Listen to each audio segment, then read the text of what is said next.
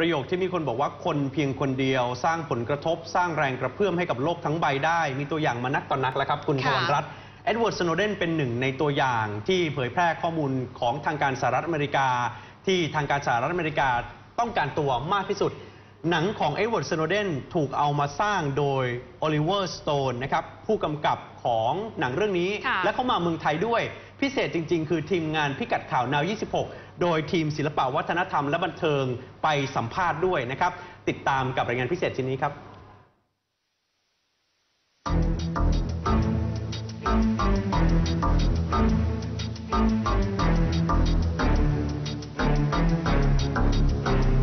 ไม่ใช่ข้อกังขาใด ๆ ที่จะบอกว่าโอลิเวอร์สโตนคือผู้กำกับที่วิพากษ์วิจารณ์สถาบันต่างๆ ของอเมริกา ผ่านภาพยนตร์ได้ดุเด็ดเผ็ดมันที่สุด ตลอดระยะเวลา 42 ปีที่เขากำกับหนัง ผู้กำกับวัย 70 ปีคนนี้มือไม่เคยตก โอลิเวอร์สโตนซึ่งเคยเป็นอดีตทหารผ่านศึกเวียดนาม คือผู้กำกับคนแรก ๆ ที่เปิดประเด็นสงครามในมุมมองที่ไม่ได้เชิดชูภาวะฮีโร่ของอเมริกัน ผ่านภาพยนตร์อย่าง Platoon และ Born on the 4th of July นอกจากนี้เขายังพูดถึงประวัติศาสตร์อเมริกันสมัยใหม่ ครอบคลุมตั้งแต่เรื่องสงครามเย็น การลอบสังหารจอห์นเอฟเคนเนดี และกรณีโศกนาฏกรรม nine one one ผ่านภาพยนตร์อย่าง JFK World Trade Center ไปจนถึง The Untold History of the United States ซีรีส์สารคดีประวัติศาสตร์อเมริกันที่ยังไม่เคยถูกเล่า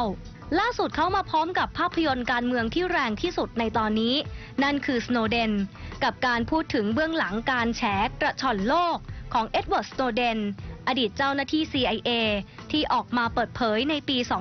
2013 ว่ารัฐบาลสหรัฐได้แอบสอดส่องข้อมูลส่วนตัวของพลเมือง จนถูกทางการจับตา และเขาเองต้องลี้ภัยไปอยู่ที่รัสเซียในที่สุด และเมื่อไม่นานมานี้เองโอลิเวอร์สโตนได้เดินทางมาบ้านเรา เพื่อโปรโมทภาพยนตร์ Snowden วาระนี้เองทางบริษัท Nation Broadcasting Corporation จำกัดมหาชน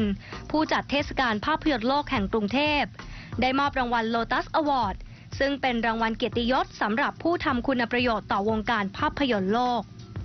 โอลิเวอร์สโตนได้ให้สัมภาษณ์พิเศษกับทางเครือเนชั่น กับคุณสุทธิชัยหยุ่น ว่าในตอนแรกเขายังไม่ได้สนใจที่จะทำหนังเกี่ยวกับเรื่องของสโนว์เดน แต่หลังจากที่เดินทางไปพบสโนเดนที่มอสโกรัสเซีย เขาจึงเริ่มสนใจที่จะทำหนังเรื่องนี้ Well, th- what changed my mind was getting invited to Moscow by the Russian lawyer for Mr. Snowden to, to meet him. Uh-huh. And I met him there in January of 2014. He was nervous, and but he was uh, he revealed enough to get me. I felt like I could. He would reveal more, and I mm-hmm. went back two more times, and Yeah. then I brought my co-writer in, a co-writer to work with me, a young man who knew technology very well, Yeah. computer world, mm-hmm. which I didn't. Mm-hmm. Snowden warmed up gradually. I went nine times total over Nine the next times? two and a half years. Yeah, and uh, What kind of a guy is he? what he seems to be, people don't believe that. Yeah. he's a straight arrow. Uh, he's square. Yeah. A Boy Scout. He really believes in the Constitution of the United States. Mm-hmm.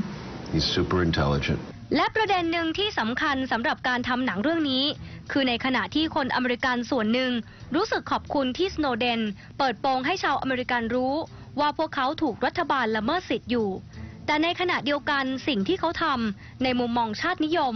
เขาคือคนทรยศ เพราะเอาความลับของสหรัฐไปเปิดเผย ในมุมมองของโอลิเวอร์สโตนเขาคือฮีโร่หรือคนทรยศ I- i- Is this movie showing him as a hero, a patriot, or a traitor? Well, that's the point of the movie. You see, well, the stage is at the beginning of the movie. He's a he's a, a, no, a libertarian. He Yeah. believes uh, the government should not be limit should be limited in its involvement in in our lives. And then, as the movie goes, he becomes more and more upset by what he's seeing, and he basically you decide for yourself. The movie doesn't make a, s- a bland a, an, uh, No conclusion. conclusion, but it's clear to those who p- listen and pay attention that what he did was out of patriotism and love of country. I just want to get this data to the world.